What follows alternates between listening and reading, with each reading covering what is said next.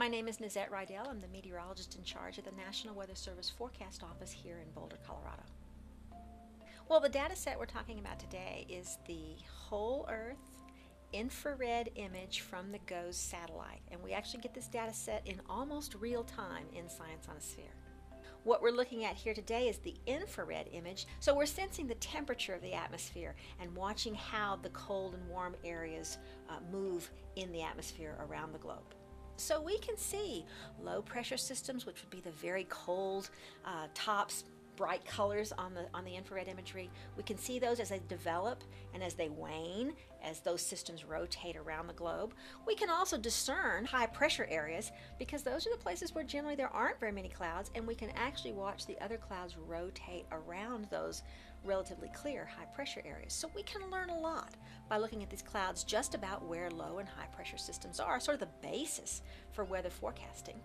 One of the features that always pops out on the infrared data set is the Intertropical Convergence Zone, the ITCZ. And that's this band around the equator, a little bit north, a little bit south, of very active thunderstorms. They're actually clumps of thunderstorms that stay along and around the equator. Uh, and you just see them bubble up and dissipate as this data set moves through. It's kind of always there, but it's also a birthplace for um, storms that move off the equator and can affect uh, the mid latitudes where we live. The data comes from the GOES satellites. Um, they orbit the Earth at a constant location. They're always over the same location in the Earth. The idea being to get an observing tool above the Earth uh, that looked over the same part of the globe all the time so that we could watch weather patterns, cloud patterns evolve underneath.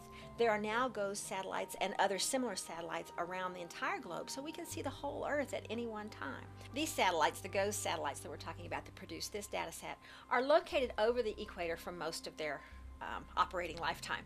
Because of that, as you get closer to the poles, the angle of incidence of the camera uh, can cause distortions or even blank spots in the data set. So over the poles, we may not see as well as we do in other parts of the globe.